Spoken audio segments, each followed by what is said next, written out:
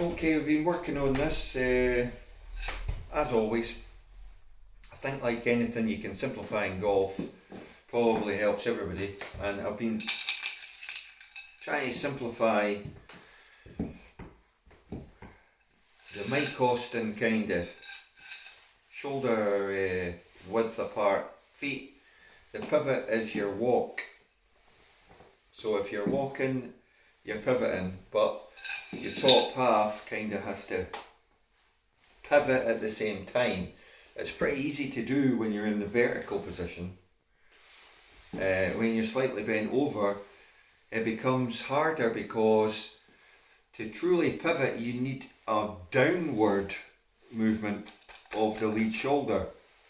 And as Jack Nicklaus said, he had a feeling that he wanted to keep his shirt buttons or the middle of his body, but he was talking about shirt buttons behind the ball.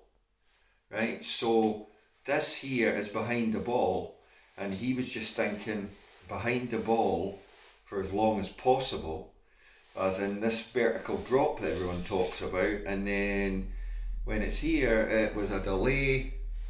That's where the mystery of golf is about lag and stuff like that, and the delay. If you break it down into two things, which in the Vardon swing is the is this position here, which you can check because in this position uh, you can do this, but you will not ever reach the ball.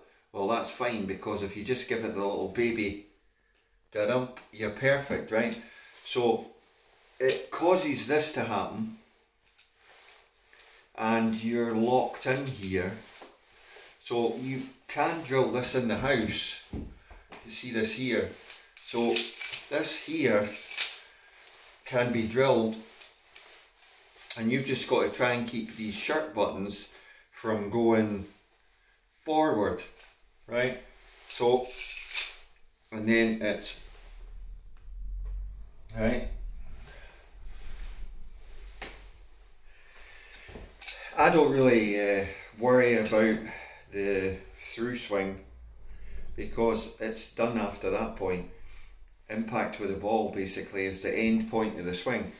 Okay, you could argue that you've got to finish somewhere, but um, this part here, where Jack Nicklaus talks about if the ball's there, he's thinking that he's going to, and you can see the difference here when you move like this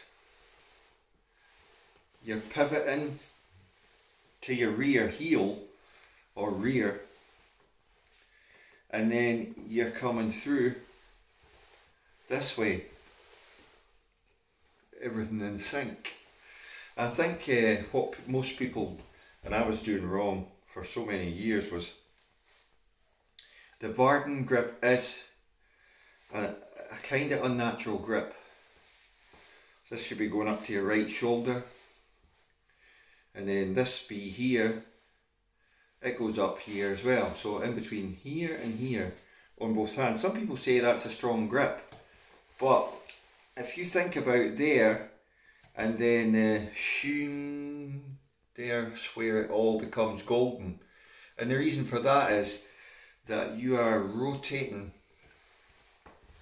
everything through so that this lead shoulder you're slapping it with this and you're you get like a that's your lag.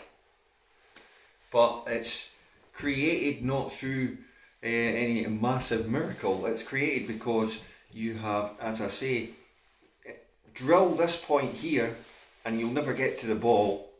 And this is what you want to be feeling here. At address hence why this magical thing here Ben Hogan, Sam Snead. That's a proper waggle. That's a proper waggle. Right? That is a true waggle. Now all that's doing is proving that you are in this position. That's all. When you're actually swinging, it's this position here, bang.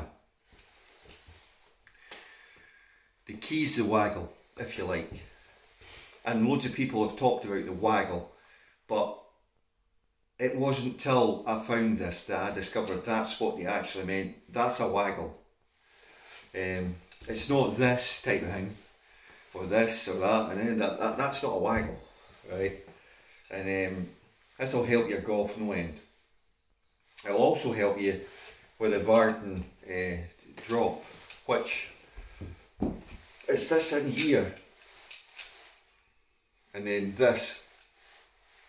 So that's what you want to be feeling there. That makes sure you're in the right position. And then that is just thrown out, it's thrown and centrifugal force does the rest. That's why it's so repeatable and it's so uh, like it, it is it over in an instant. But it's the proper waggle that sets it all. And uh, in actual fact, if you have the wrong type of waggle, it can can actually uh, knacker it before you've even started. Like I said to you, your takeaway, which is only about that long away from the ball, if it's poor, it's very difficult to come back. Thanks for watching, hope you've enjoyed it. Uh, as always, all for charity. Um, subscribe and a like, a share would be very much helpful for the channel and the ad revenue going to the charities.